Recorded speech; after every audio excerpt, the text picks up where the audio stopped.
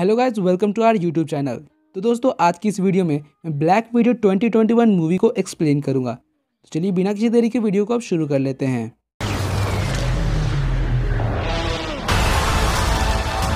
तो मूवी के शुरू होते ही हमें 1995 का समय दिखाया जाता है, जहाँ एक बच्ची साइकिल से अपने घर जा रही होती है। जिसके बाद हमें एक और छोटी बच्ची दिखाई जाती है।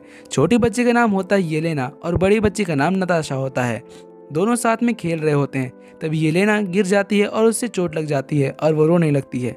तब उसकी माँ आती है और उसे चुप करवाती है और कहती है कि जितना दर्द होगा, उतनी स्ट्रॉन्ग बनोगी। फिर उनमें थोड़ी देर बातचीत होती है, जिसके बाद वो लोग डिनर के लिए अंदर चले जाते हैं।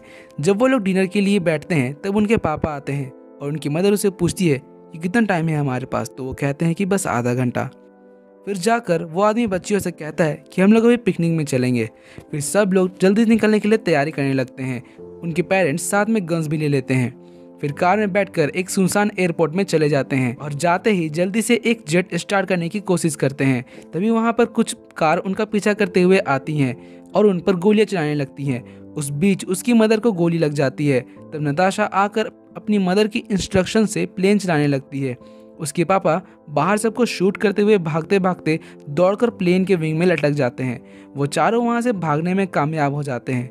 फिर अगली सुबह वो लोग क्यूबा पहुँचते हैं और पहुँचते ही कुछ लोग आकर उनकी मदर की ट्रीटमेंट करने लगते हैं। फिर उनसे मिलने वहाँ एक आदमी आता है जिसका नाम ड्रैक ऑफ़ होता है। तब हमें पता चलता है कि जो आदमी उन बच्चियों का फादर बना था वो एक्चुअली एक एजेंट है जिसका नाम रेड गार्डियन है और वो एक अंडरकवर मिशन पे था। और उनकी फैमिली नकली थी और उन दोनों बच्चियों को किसी रेड रूम में भेजने के लिए रखा जा रहा था। फिर हमें दिखाया जाता है कि उन दोनों की तरह ही बहुत सारी बच्चियों को ज़बरदस्ती रेड रूम में एजेंट्स बनने की ट्रेनिंग दी जा रही है और इन सब के पीछे वो ड्रैकऑफ ही है, जो रेड रूम चला रहा है। ड्रैकऑफ उनको ट्रेनिंग देकर एजेंट्स बनाना चाहता है और फिर उनसे अपने गैर काम करवाता। फिर हमें 21 साल बाद का सीन दिखाया जाता है, जहाँ नताशा बड़ी हो चुकी है।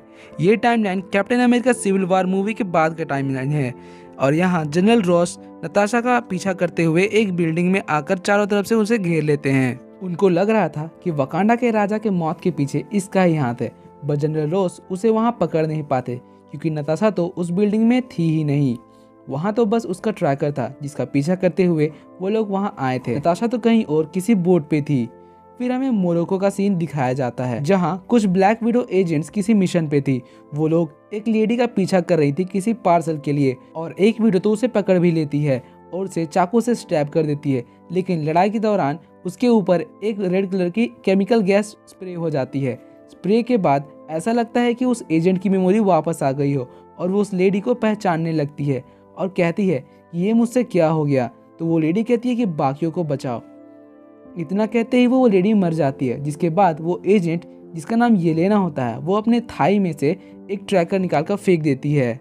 और वो उस पार्सल को लेकर वहाँ से भाग जाती है, जिसमें वो रेड गैस थी। तो उसके बाकी के साथियों को पता चल जाता है कि वो अब ड्रैकऑफ के कंट्रोल से बाहर आ चुकी है, और ये बात वो ड्रैकऑफ को बता देती है। और टास्क मास्टर प्रोटोकॉल को एक्टिवेट करने की परमिशन मांगती है। उधर टास्क मास्टर बैठकर एवेंजर्स की फाइट देख रहा होता है और देखने से ऐसा लग रहा था कि टास्क मास्टर कोई रोबोट है। फिर हमें नताशा को दिखाया जाता है। वो जंगल के बीच अपने हाइड आउट में जाती है, जहाँ उसका फ्रेंड उसकी ज़रूरत का सारा सामान ला देता है और उसे एक बॉक्स भी देता है, जो कि उसके पिछले हाइड आउट से मिला था। उस बॉक्स में येलेना का भेजा हुआ वो गैस कैप्सूल था। रात को नताशा का जनरेटर बंद पड़ जाता है तो वो पेट्रोल लेने के लिए कार लेकर निकल जाती है, लेकिन रास्ते में उसके ऊपर टास्क मास्टर अटैक कर देता है।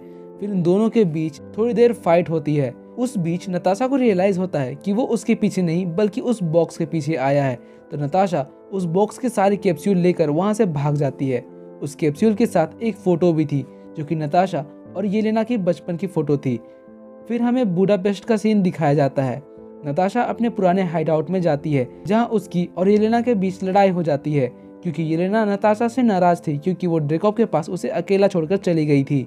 लड़ाई खत्म होने के बाद येलेना बताती है कि जो चीज़ उसने भेजी थी, वो एक्चुअली ड्रेकॉफ के माइंड कंट्रोल का एंटीटोड है।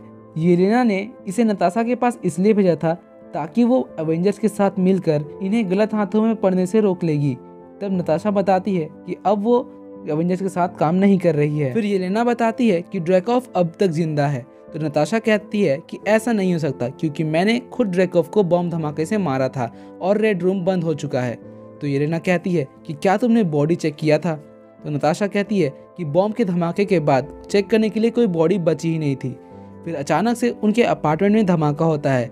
ये अटैक ब्लैक विडोज का था। तो येलेना घर में लगे ट्रैप बॉम्ब्स को एक्टिवेट कर देती है, जिसके बाद दोनों बहनें वहाँ से ब्लैक विडो को चकमा देकर भागने लगती है। फिर दोनों एक पाइप से लटक के दूसरी बिल्डिंग में जा रहे होते हैं तो उनके पीछे एक ब्लैक विडो भी पाइप से लटक जाती है, मगर फिर वो नीचे गिर जाती है और उसकी एक पैर की हड्डी टूट जाती है।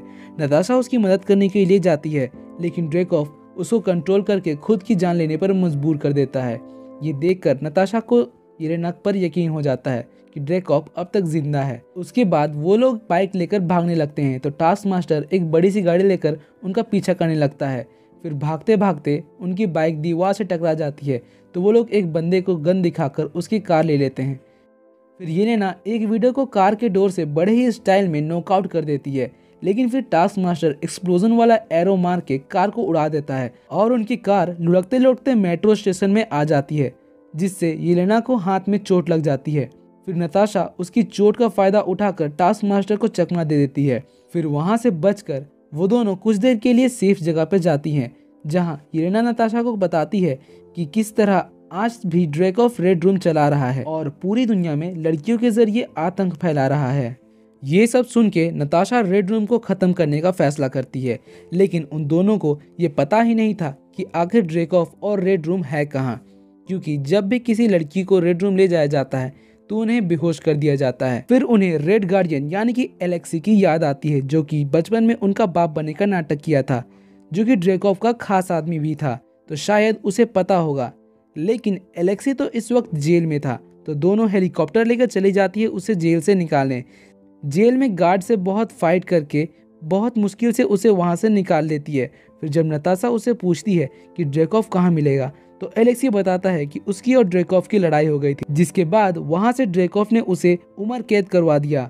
और अभी उसे रेड रूम के बारे में कुछ भी नहीं पता, लेकिन वो बताता है कि मिलेना, जो कि उसकी मदर बनी थी, वो अब भी ड्रेकॉफ के लिए काम करती है। तो शायद उसे रेड रूम के लोकेशन के बारे में पता होगा। तो तीनों चले जाते हैं मिलेना के पास, जहाँ मेलेना अपने माइंड कंट्रोल टेक्नोलॉजी को एनिमल्स पर टेस्ट कर रही थी। उनके वहाँ पर आने पर मिलेना पहले तो अच्छे से उनका स्वागत करती है। उनके साथ बैठकर खाना खाती है, लेकिन उस बीच वो रेड रूम को उनके बारे में इन्फॉर्म कर देती है। फिर खाना खाते खाते उनकी बचपन की बातें होने लगती है। जब वो लोग सब साथ में थे फैमिली बनकर रहते थे, जिससे सब लोग थोड़ा इमोशनल हो जाते हैं। हालाँकि सबको पता था कि उनकी फैमिली फेक है। फिर भी जब नताशा मिलेना से कहती है कि वो अब तक उसकी दी हुई सीख के वजह से ज़िंदा है तो इस बात से मिलेना का भी दिल पिघल जाता है और वो उनकी मदद करने के लिए तैयार हो जाती है। फिर नताशा और मेलिना प्लान बनाते हैं कि किस तरह वो लोग रेड रूम में घुसेंगे। मेलिना नताशा को कहती है कि फेस चेंजिंग टेक्नोलॉजी से हम दोनों एक दूसरे की जगह बदल लेंगे। फिर मेलेना नताशा को बताती है कि रेड रूम का लोकेशन कहाँ है और उसमें लैंडिंग कैसे करना है और किस तरह ड्रेक ऑफ़ तक पहुँचना है। उनके पास सिर्फ़ एक ही वायरलेस ईयरफोन का सेट था, इसलिए उसने एक येलेना के कान में डाल दी थी और एक मिलेना के पास था। एलेक्सी को इस प्लान के बारे में कुछ भी पता नहीं था। फिर नताशा प्लान के अकॉर्डिंग उनको रेड रूम तक ले जाती है और फिर ड्रेकॉफ तक पहुँच जाती है। मगर ड्रेकॉफ को पता चल चुका था कि ये मिलेना नहीं, बल्कि नताशा है। और इधर ये लोग ऑपरेशन करके येलेना के सर पे वापस वो कंट्रोलिंग वाला केमिकल डालने वाले थे। लेकिन सही टाइम पे मिलेना उसे ईयरफोन से कांटेक्ट करती है और बताती है कि उसके पॉकेट में एक चाकू है। फिर येलेना अपने आप को छुड़ाकर उन डॉक्टर्स को नॉकआउट कर देती है। मिलेना बताती है कि माइंड कंट्रोल केमिकल एंटीटोड्स नीचे कहीं पर कोल्ड स्टोरेज पर रखे हैं और उसे ही उसका यूज़ करके उन सारी ब्लैक विडोज को ड्रेकऑफ के कंट्रोल से फ्री करना है। और इधर ड्रेकऑफ नताशा को बताता है कि वो टास्क मास्टर उसकी बेटी ही है। जब नताशा ने बॉम्ब धमाके से ड्रेकअप को मारने की कोशिश की थी, तब उसकी बेटी उस धमाके से जल गई थी और वो लगभग मर ही गई थी। इसलिए ड्रेकऑफ अपनी माइंड कंट्रोल टेक्नोलॉजी से अपनी बेटी को माइंड कंट्रोल करके अपने लिए काम करवा रहा है। ये सब बताने के बाद फिर ड्रेकॉफ टास्क मास्टर को मिलेना और एलेक्सी को पकड़ने के लिए नीचे भेज देता है, जिसका फ़ायदा उठाकर नताशा ड्रेकॉफ को मारने की कोशिश करती है। बट मार नहीं पाती क्योंकि ड्रेकॉफ ने सारी वीडियोस पर फेरेमोनल लॉक लगाया है। मतलब जब तक वो उसकी स्मेल सूंघ पाएँगी, तब तक उसे मार नहीं पाएँगी। ये बात नताशा को मिलेना यहाँ आने से पहले ही बता चुकी थी। नताशा तो बस उसके सारे डेटाबेस और कंट्रोल सेंटर के बारे में जानने के लिए रुकी थी। फिर जैसे ही ड्रेकॉफ ओवर कॉन्फिडेंट होकर अपने सारे राज खोल देता है, नताशा अपने नाक का नस तोड़ देती है और उसके फेरोमिनल लोक से फ्री हो जाती है। इधर टास्क मास्टर और एलेक्सी के बीच के फाइट में एलेक्सी हार रहा होता है। लेकिन तभी येलेना आकर टास्क मास्टर को घुमाकर केज में डाल देती है और दूसरी तरफ़ मिलेना फ्लाइंग रेड रूम का एक इंजन ब्लास्ट कर देती है और अब उन्हें क्रैश लैंडिंग करनी होगी। इधर नताशा ड्रैकॉफ को ऑलमोस्ट मार ही चुकी थी, लेकिन तभी वहाँ ब्लैक विडोज आ जाती हैं और ड्रैकॉफ वहाँ से भाग जाता है। फिर होता है नताशा वर्सेस 15 ब्लैक विडोज जिसका कंक्लूजन पॉज करके आप कमेंट बॉक्स पे लिख सकते हैं। तो आगे बढ़ते हैं अब। जिसका कंक्लूजन ओबियसली नताशा जीत जाएगी। अरे नहीं रे, सब मिलकर नताशा को अच्छे से कूट देते हैं। लेकिन एन वक्त पर येलेना वहाँ आकर उस एंटीटोड को ब्लास्ट कर देती है, जिससे वो सारी वीडियोस ड्रैकॉ के कंट्रोल से फ्री हो जाती हैं। जिसके बाद उनका पहला सवाल होता है कि अब हम क्या करें? तो नताशा उन्हें कहती है कि यहाँ से बहुत दूर चली जाओ, जो मन करे वो करो। फिर धमाका बढ़ने लगता है। सब लोग वहाँ से निकल रहे होते हैं। लेकिन नताशा वहाँ रुक कर रेड रूम की सारी लड़कियों का डाटा ट्रांसफ़र करके अपने चिप में डाल रही होती है। एलेक्सी और मेलेना भी एक प्लेन में बैठकर वहाँ से निकल जाते हैं। ड्रैकोव भी अपने साथियों के साथ वहाँ से निकलने के लिए प्लेन में बैठ रहा होता है। तभी ये लेना आकर प्लेन के ऊपर चढ़कर प्लेन को ब्लास्ट कर देती है, जिससे ड्रेकॉफ और उसके आदमी जलकर मर जाते हैं और ये लेना नीचे गिरने लगती है। तो नताशा उसके पीछे पैराशूट लेकर कूद जाती है और फिर वो पैराशूट येलेना को पहना देती है। फिर नताशा को उसके तरफ़ टास्क मास्टर आते हुए दिखता है। तो नताशा येलेना को छोड़कर टास्क मास्टर की तरफ़ चली जाती है और उसके साथ एरियल फाइट करते हुए नीचे गिरती है। मगर एन वक्त पर जैसे तैसे करके दोनों पैराशूट खोलकर नीचे गिर जाते हैं और बच जाते हैं। फिर नीचे आकर उनके बीच थोड़ी देर फाइट होती है, जिसमें नताशा एनीटोड को फोड़ देती है और वो उड़कर टास्क मास्टर को पर लग जाता है और अब वो भी फ्री हो जाती है और तब नताशा उसे अपनी गलती की माफ़ी मांगती है। फिर एलेक्सी, मिलेना, नताशा और येलेना एक हो जाते हैं। अपने उस फेक परिवार को असली मानकर एक दूसरे के गले लगते हैं। फिर नताशा वो चिप और एंटीटोड येलेना को दे देती है ताकि मेलिना रेड डस्ट को टेस्ट करके वैसे ही और बना सके और उस चिप में से देखकर दुनिया भर में फैली ब्लैक विडोज को आज़ाद कर सके। तभी पुलिस की बहुत सारी गाड़ियाँ वहाँ आने लगती है सबको अरेस्ट करने के लिए। लेकिन उसी वक्त रेड रूम की ब्लैक विडोज जिन्हें थोड़ी देर पहले नताशा ने बचाया था, वहाँ एक प्लेन लेकर आ जाती हैं। ताकि वो नताशा और बाकी सबको वहाँ से निकाल सके। लेकिन नताशा उनके साथ नहीं जाती, क्योंकि उसे किसी दूसरे मिशन पर जाना था। फिर हमें दो वीक्स बाद का सीन दिखाया जाता है, जहाँ अब नताशा अपना हेयर ब्लॉन्ड कलर का करवा चुकी है, ताकि वो आसानी से पुलिस की नज़रों में ना आ सके।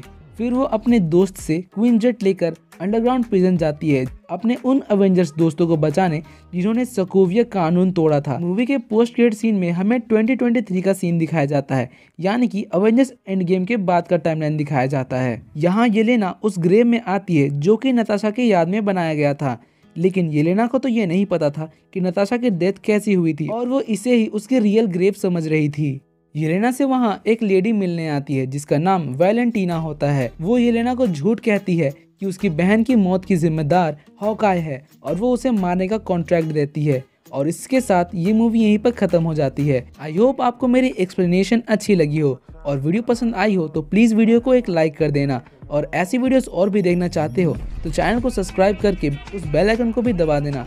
और हाँ कमेंट करके आप अपनी मूवी रिक्वेस्ट भी दे सकते हैं नेक्स्ट वीडियो के लिए। So see you in the next video. Till then be happy, be safe and thanks for watching.